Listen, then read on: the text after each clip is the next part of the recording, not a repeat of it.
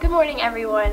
As we keep developing our plans for our future building project, our architect and his team are wanting to hear from everyone who is working in different areas of ministry here at Grace. We have a survey on our website that we would love for you to fill out, just helping our architect and helping us know what you think would work best in your area of ministry. We look forward to the things that are unfolding in the next upcoming months. This Wednesday, December 9th, we are having our Effect Christmas party over at the Youth House from 6 to 8 p.m.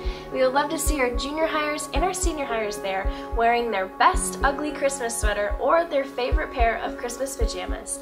It's going to be a great night and we would love to see you there. Today we are going to be reading 1 Peter 4, verses 12 through 19.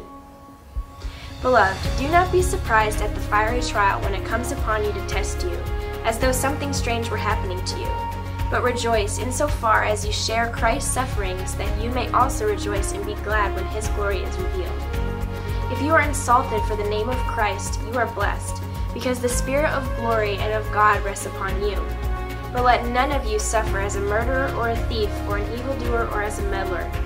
Yet if anyone suffers as, as a Christian, let him not be ashamed, but let him glorify God in that name. For it is time for judgment to begin at the household of God. And if it begins with us, what will be the outcome for those who do not obey the gospel of God? And if the righteous is scarcely saved, what will become of the ungodly and the sinner?